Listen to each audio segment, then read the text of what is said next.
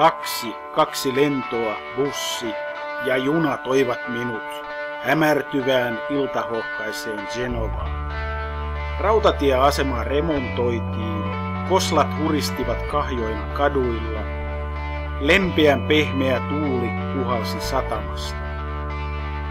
Vuorittuani kehostani matkakuonet suihkussa, istahdin iltaan kourassani kylmä kalja. Kauempana korkealla kaksi valomainosmajakkaa valaisi kaupunkimaisemaa. Siemaisin suullisen. Satamassa loistoristeilija huusi yöhön, lähtiessään seilaamaan kohti Sisiliaa. Välimeri, vuosituhansien kauppaväylä, islamin ja paavin väliin vedetty sotaviiva, lepäsi tyynessä rauhassa. Olin saapunut perille, vapautin mieleni lepoon.